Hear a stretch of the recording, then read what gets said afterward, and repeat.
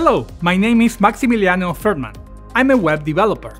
In the past 15 years, I've been working with web performance, and I created this course to help you improve the performance of your websites and web apps so you can increase conversion and user experience. In this course, we're going to start with the basics of web performance, the current state of APIs, and then we will see best practices and hacks to improve performance even further. Enjoy the course, and let's make faster websites together. So our most important tool for web performance will be that chart. That chart is a waterfall chart.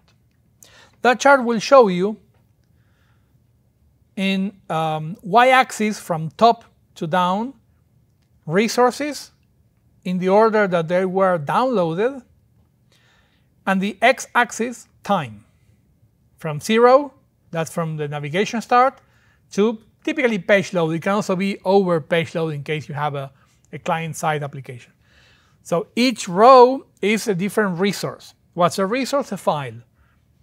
An HTML file, a CSS file, it can also be a WebSocket request. It's a, it's a request. Okay? We will use these charts a lot.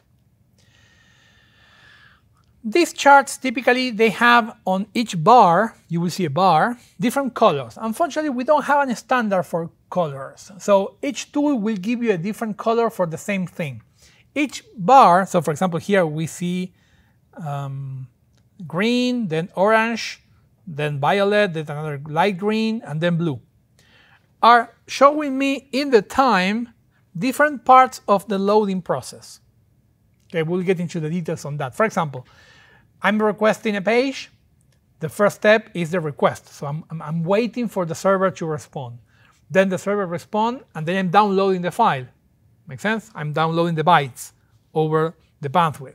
And when I have the file, I need to parse the file. Well, each, each step will be a, a different color in, in, the, in the bar.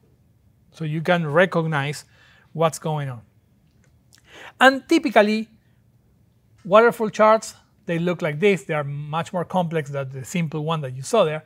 And we have two of per URL. One for the first view and another one for repeat view.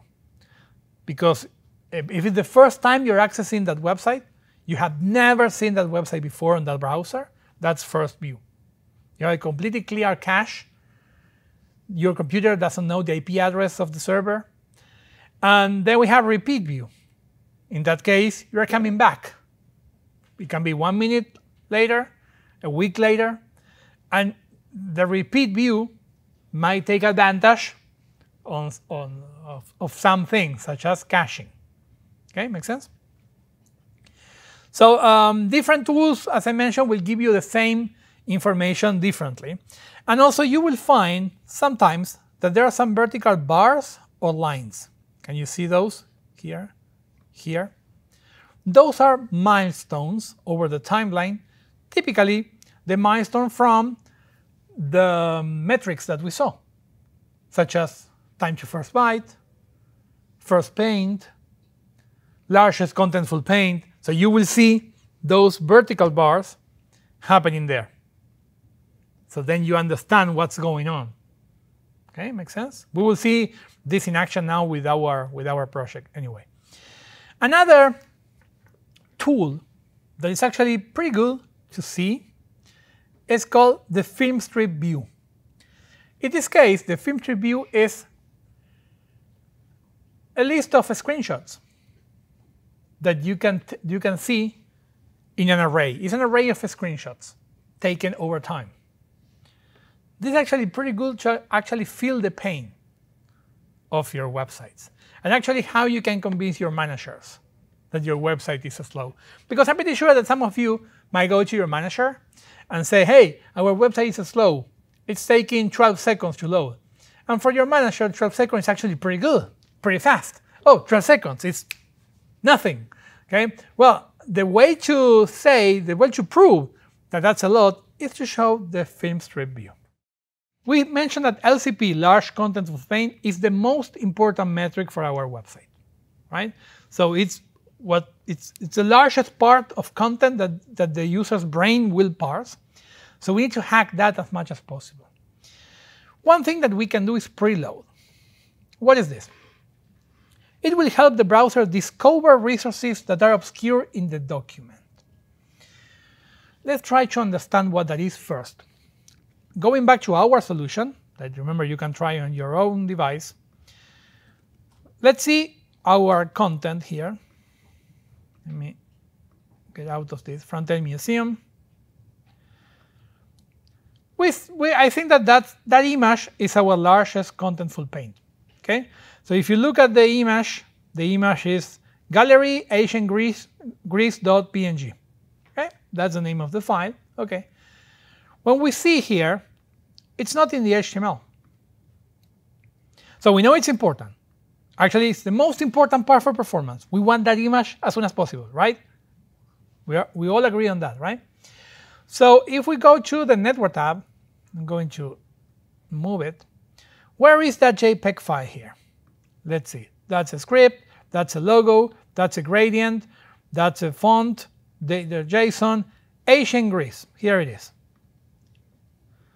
So when we look at the um, diagram, we wasted all this time to actually download the file earlier.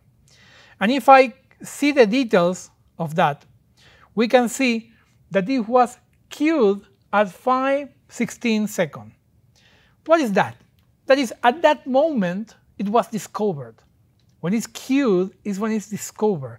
So for 5 seconds, the browser didn't know about that PNG file. That, by the way, shouldn't be a PNG, but that's for, for, for another slide. So what's going on? So we need to analyze what's going on. Why is that the browser is not downloading that PNG file faster? Well, the problem is that on how this is website is being created, that there are a lot of websites out there like this. There is a script file that we can see. The script file, it's registering an event on the load event. Okay? That we already mentioned that. Is it a good idea? No. The load event will happen after all the images and everything is downloaded. So we can start helping this. We can change onload for on DOM content loaded or use add event listener. It's DOM content loaded. So I'm going to call load on DOM content loaded. This will save a couple of milliseconds, if not seconds, to start executing this code. Then this code is downloading a JSON file. And based on that JSON file, it's rendering articles on the screen. That's why the image is being discovered late. So the browser needs to execute that JavaScript. So it was waiting for the load, executing the JavaScript, going and fetching the JSON, then parsing the JSON, then uh, looping through the objects in, in, in, that we have there and creating HTML. And at one point, the browser says, oh, there is an image I need to go and find. And we lost not five seconds, but probably four. And we could download that PNG file earlier. So we can, of course, change this. So we have a, a big problem here. The big problem is that this is um, this, this was a bad idea from the first time. Okay, so rendering content on the screen based on JavaScript that needs to download a JSON file is a bad idea from scratch. But let's say that for now we cannot change that. What we can do, what, what else we can do? We can use preload. So we can help the discovery of that file with preload. Preload is a link element that we can set typically in the head of our HTML. And in this case, we're going to help the, that queue of discovered elements. We are going to say, hey, browser, we will need that PNG file. You don't know yet that we will need that, but believe me, I'm the author. I know that you will need that later.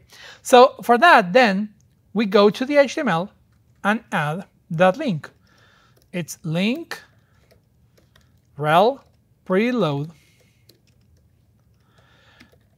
The name is going to be images forward slash, no, images, no, I'm sorry, gallery, forward slash, it was ancient Greece. And it's mandatory to set as.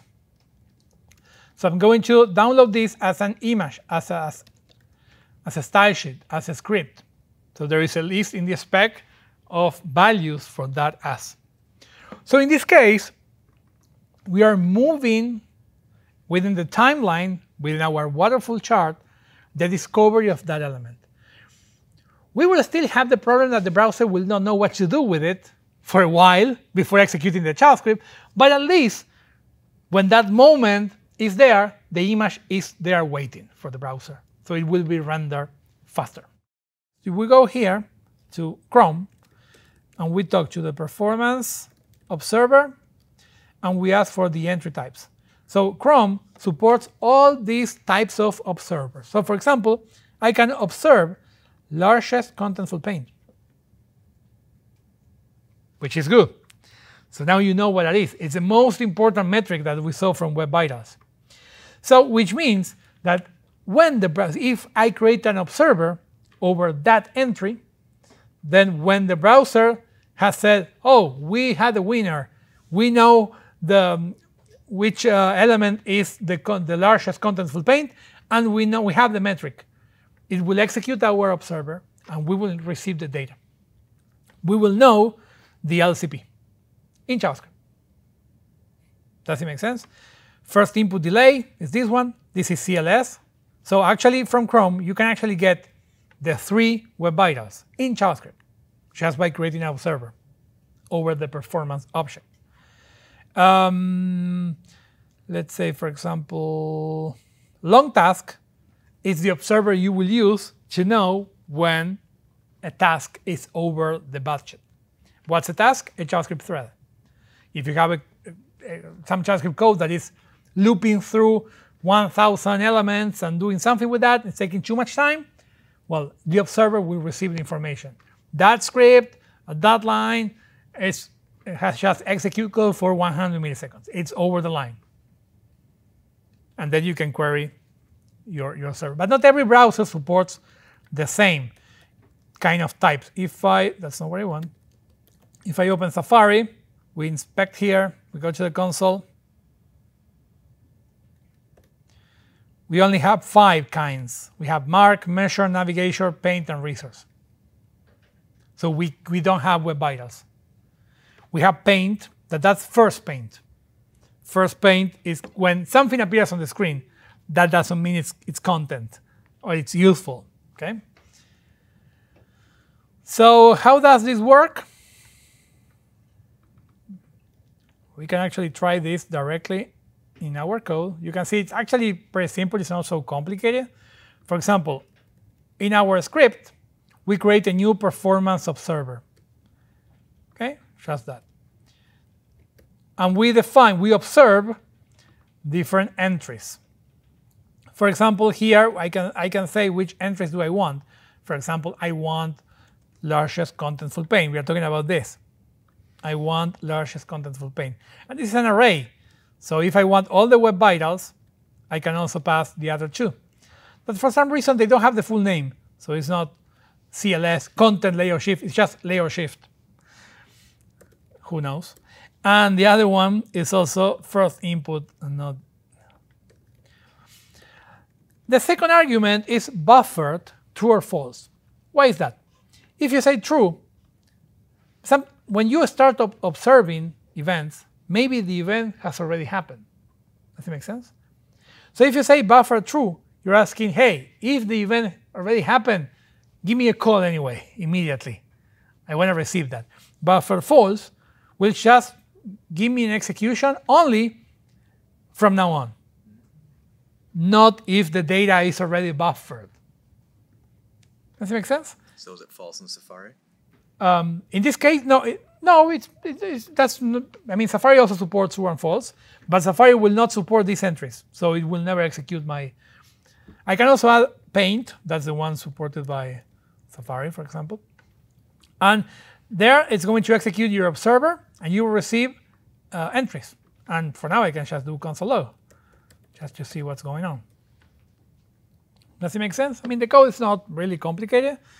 The thing is understanding that that's a possibility, that that's available. So I'm going to refresh, and now I'm seeing some outputs.